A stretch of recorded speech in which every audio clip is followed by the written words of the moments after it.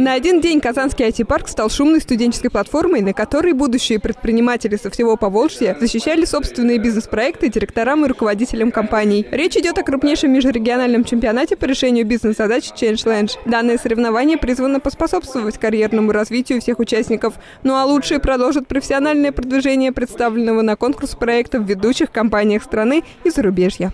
На самом деле, для чего э, используется чемпионат и почему он проводится? Дело в том, что российская образовательная система очень сильно сфокусирована на теории. Если мы говорим про бизнес, то бизнесу прежде всего нужны люди, которые разбираются в практике. Они участвуют не только одни, а участвуют в команде. Они показывают свое умение презентовать, решать проблемы, ситуации компании. И тем же самым они показывают себя перед компанией, получают возможность трудоустроиться, от Казанского федерального университета в чемпионате приняли участие более 300 студентов. Им пришлось побороться с будущими бизнесменами со всего Поволжья. Противники были, прямо скажем, весьма достойные.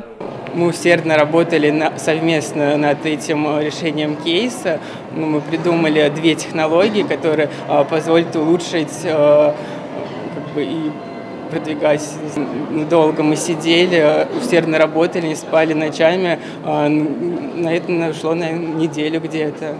Кейс-чемпионаты дают именно ту практику, которую не всегда в полной мере можно получить в вузах. В борьбе за первенство студенты получают настоящий опыт предпринимательства, точно понимают свою аудиторию, даже осознают, где в последующем можно найти лучших сотрудников и, безусловно, созревают для блестящей карьеры мирового уровня. Аделя Мухаммедшина, Ленар Давлетьяров, Univer News.